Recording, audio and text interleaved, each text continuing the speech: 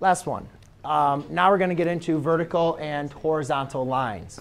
So when graphing vertical and horizontal lines, um, I think you guys don't need to create a table of values, because I think once I teach this, I hope that you'll be able to replicate this, um, replicate this yourselves. However, to kind of explain how we get to horizontal and vertical lines, um, I'm going to use a table of values. And so if I was going to graph, let's say I wanted to graph both of these.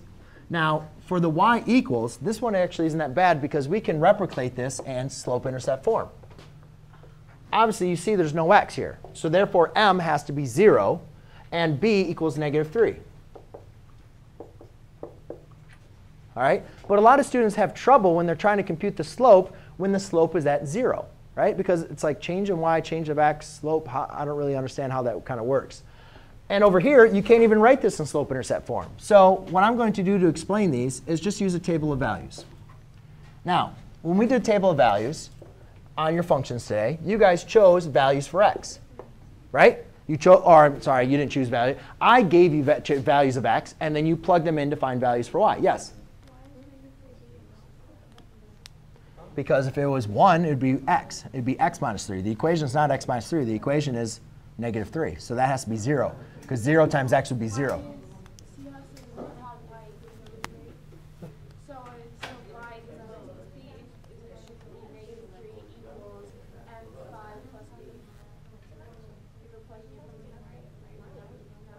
That is your b. This is your b. This is in slope-intercept form. You only have your value of b. That's it. You don't have an x. There's no number in front of x here. There's no x. Why is there no x? Because it's being multiplied by 0. So your slope is 0. What 5? This is two separate problems. Okay? All right. Um, I, I can't keep on helping you out after school.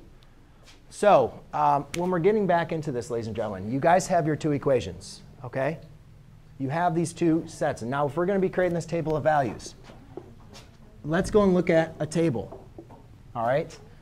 Rather, if I'm not giving you these values, I'm saying, hey, x is equal to 5. 5. 5.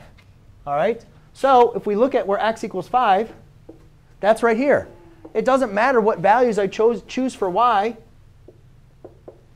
x is always going to equal 5. So that produces a vertical line. If I'm going to go ahead and graph this, you know, you can choose your values for x just like we did today. But what does y always equal? Negative 3. It doesn't matter what values I choose. y is always equal to negative 3. 1, 2, 3. So what I want you guys to understand is when you have when you have x equals 5, that is just a vertical line at the x value 5. When you have y equals negative 3, that is a horizontal line at the y value negative 3. OK? So that's where horizontal lines come from. I'm just showing you which graph is which. That's it.